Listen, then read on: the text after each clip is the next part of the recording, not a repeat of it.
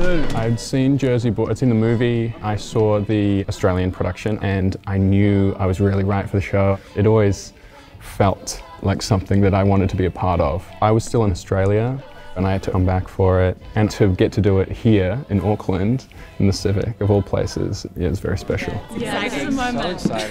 I haven't actually stepped foot on the stage in about 12 years, so this is pretty phenomenal. I was 13, my first time here, and it's just as magical, if not more. So take it in.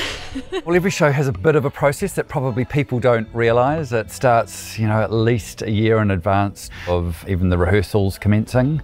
Yes, it's 50s, 60s, 70s, but the young people now actually know the music and it's been remade several times. So they'll come along to the show and they'd go, yeah, heard that, heard that particularly with Jersey Boys, I'm continually wowed with both the technical and the onstage talent we have, and I just want to showcase that to as many people as possible. So I kick off the show. My character's got like a pretty big ego, being like, hey, it's me, welcome, let me tell you our story, because this whole thing started with me.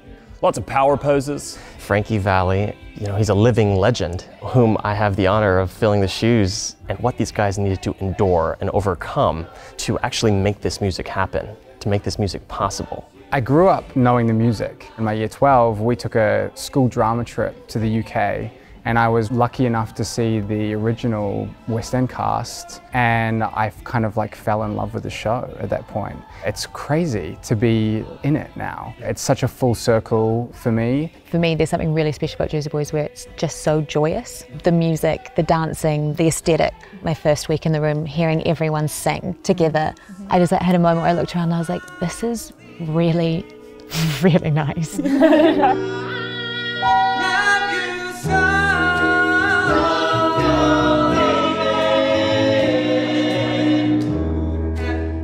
always ask my crew to just take a moment when we get to stand on that stage together as a group and reflect on about how lucky we are to be here, to be in this venue, which is magnificent. We are very lucky in New Zealand to be in this position to be presenting theatre at this stage. And I think New Zealand audiences need entertainment right now some light at the end of the tunnel and to present New Zealand talent on stage wowing New Zealand audiences. Absolutely brilliant. These guys had nothing. The chances of them making a living from it were so slim, especially where they came from. And to get to see that come to life on stage is inspiring for anyone. Anyone in the theatre could think, you know what? If they can make that happen, and that's a true story, then I can do anything.